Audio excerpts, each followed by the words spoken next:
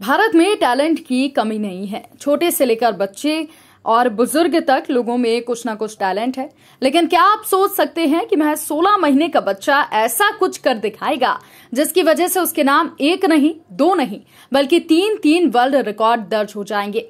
जी हाँ हम बात कर रहे हैं मध्य प्रदेश के रहने वाले एक बच्चे की, जिन्होंने ऐसा कुछ कर दिखाया है। रीवा शहर का 16 महीने का बच्चा गूगल बॉय के नाम से अपनी पहचान बना चुका है। इतना ही नहीं, इस बच्चे ने इतनी कम उम्र में अपने नाम तीन रिकॉर्ड भी कर लिए हैं। रीवा के इस नन्हे बच्चे का नाम यशस्वी मिश्रा है, जो कि महज 16 माह का है।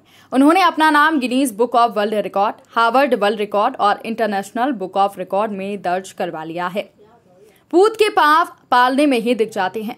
यशस्वी पर यह मुहावरा सिद्ध हो रहा है क्योंकि महज चौदह माह में छब्बीस देशों के राष्ट्र ध्वज पहचान कर world book of record London में उन्होंने अपना नाम दर्ज कराया है।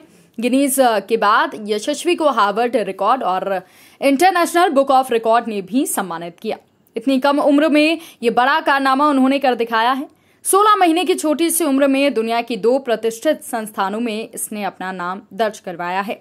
विश्व के एक सौ पंचानवे सभी देशों को झंडे को पहचान लिया है। यशस्वी के इस कारनामे को देखकर सब कुछ हैरान है।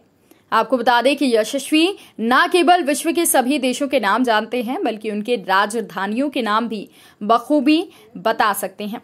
यशस्वी के दादा अवनीश मिश्रा पेशे से शिक्षक हैं और रीवा के द्वारी हायर सेकेंडरी स्कूल में कार्यरत हैं। यशस्वी की माता शिवानी मिश्रा और पिता संजय मिश्रा बिजनेसमैन हैं।